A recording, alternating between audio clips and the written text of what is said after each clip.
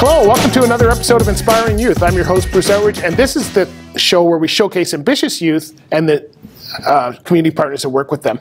And you know, Halton has a lot of great places in there. We have places like Halton and uh, Hayek and, and, and, some large uh, places that really help youth, but there's the smaller ones, the ones that you may not know about that we are trying to find this year. And we found one called The Oddspot. The Oddspot is a small little record shop based in Burlington, Ontario, and it is a place that has a gem of items for anybody that's a collector, but it's also a hub and engine for the local music community. And we're going to find out tonight what it's like to start uh, a place like um, The Oddspot, who works there, how it benefits the community, and where you can find it.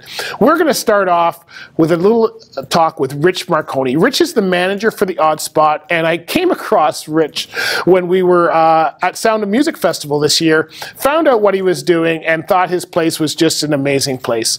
So let's have a, a chat with Rich and find out how he got started and how he gets youth involved in The Oddspot. Kids out, yeah. So how many how many young people would you use throughout a year? Let's say you know you, with your various festivals and maybe working in the shop. How many people would you be looking at or looking for? Uh, well, it all depends on the project. Um, there are certain marketing projects at different times of the years that we use. We have uh, curated outfits here, so we take our clothing and we'll match, you know, a hat uh, with a jacket and a shirt and then we'll go downtown Burlington and we'll take some photos in front of like a really cool landmark or another business down here, uh, just because we like to stay local and we like to support our local businesses as well.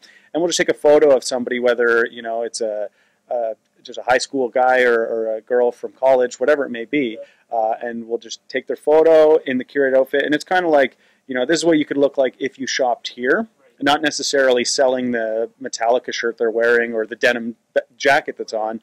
We just want to kind of let them know that you can be part of the community, you can be part of the city, and just kind of show off that, like, you know, oh, okay, well, we can come here and we can get really cool combinations for our outfits and all these clothing styles. Like, kids are coming in, they're buying band shirts of bands they've never even heard of sometimes. Like, I've seen, like, a Pink Floyd shirt going to a, you know, a 14 or 15 year old girl, and I'll be like, oh, Pink Floyd, right on. She's like, yeah, I just like the logo. And yeah. you're just kind of like, Okay, cool. Now this is fashion. So now now we're going into the fashion sense. So we get a lot of kids to help us out with all sorts of different projects. So, so yeah. you, you heard in that interview that Rich is uh, passionate about helping young people get started, but he has started himself by actually selling his wares to the Oddspot. That's how he got the job. And we found out exactly why he's so passionate about uh, local music in this interview. Could have been $75. I went to a concert bought a T-shirt. And I'm sure some of you guys do the same thing too.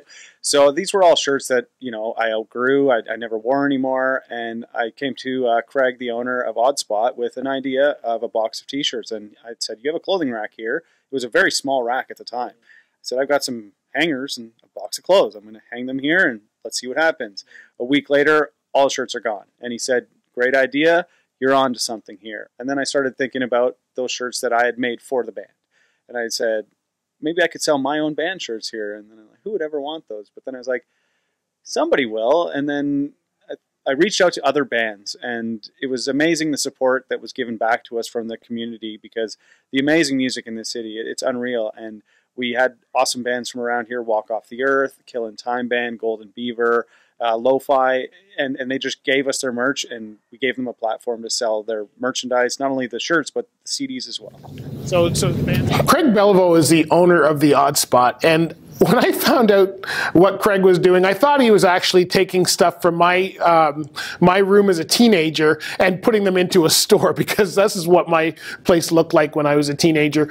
But he is actually passionate about finding unique items. He started his own auction place, and we talked to him about where he got all this incredible items and what fueled his passion to start a store like the Oddspot. And eventually made enough revenue to say see you later to the corporate job, and then open the store.